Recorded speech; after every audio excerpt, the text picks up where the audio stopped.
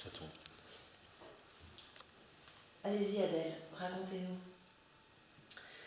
Euh, eh bien, euh, je, enfin, je, comment dirais-je, euh, je,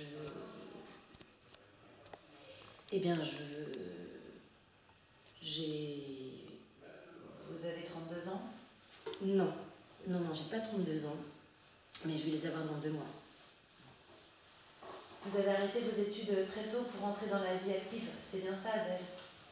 Euh, non, non, enfin, c'était pas vraiment pour entrer dans la vie active en fait, c'était parce que euh, je, ben, je voulais euh, partir avec un, garçon que j'avais rencontré et alors c'est pour ça en fait que j'ai arrêté mes, mes études, mais enfin, je suis partie de chez moi, voilà.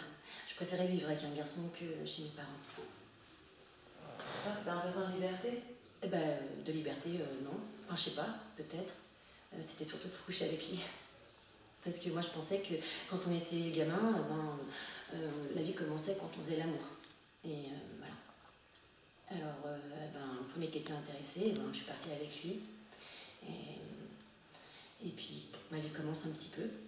Mais sauf que ben, ça n'a pas très très bien commencé.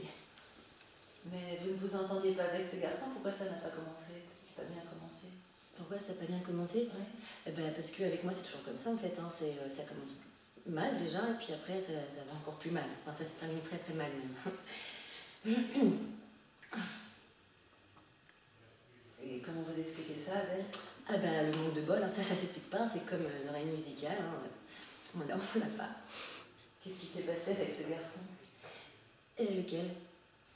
Le premier, celui avec qui vous êtes parti. Ça n'a pas été au bout Ah bah si, si, si, ça a été jusqu'au bout. Mm. Été Et vous avez été déçu Ah ben, non, non, non, j'ai pas été déçue. Euh, on a été jusqu'au bout, il était même très très gentil. Euh, même il avait l'air tellement amoureux que je l'aurais suivi jusqu'au bout du monde. Mais enfin, en fait, on s'est juste arrêté jusqu'à Limoges.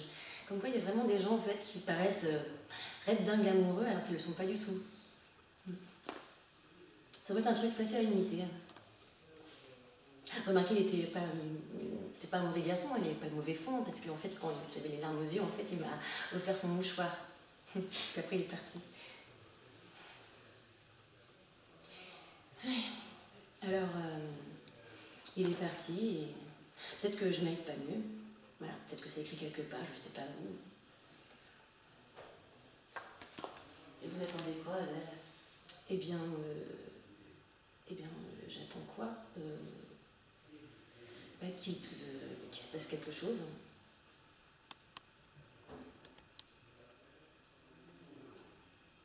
Voilà, c'est tout.